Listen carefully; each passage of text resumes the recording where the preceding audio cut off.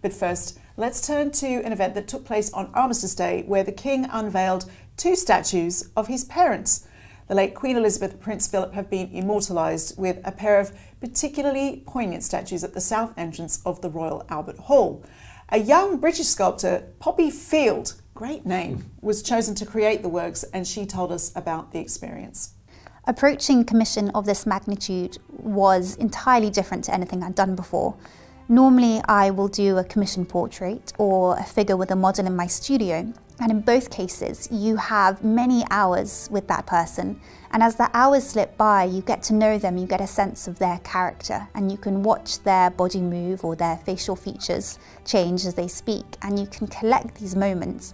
And um, if you, you know things are going well, you'll create a sense of them, of their presence or essence or spirit. With this commission, I didn't have the physical presence of the Queen or Prince Philip, and even if I had had access to them, it wouldn't have been for long enough to create two metre monuments. So I had to put my background in the history of art to good use and research what were the most meaningful symbols and how could I technically convey them. They perhaps have one of the greatest marriages and partnerships of our time and that maybe I could sculpt a love story as much as I could sculpt a representation of our Queen and Prince Philip. So I thought quite an exciting and contemporary way to represent them would be in civilian dress. And the highest form of civilian dress is white tie for a gentleman and evening dress for a woman. So I went to Gieves and Hawkes, the uh, Royal Warrant Holding Suit Company, and they lent me white tie and fitted it to my model Jack, who posed for Philip. Similarly, with my model Megan, we went to Cornelia James, the glove makers, and Cornelia had made gloves for the Queen throughout um, her own life. And I thought a fitting way of representing their shared lifetime of service would be to create one composition across the entire South Porch facade. And in thinking of this one composition, it occurred to me that Prince Philip, a man as modern as tomorrow, was also the Queen's strength and stay.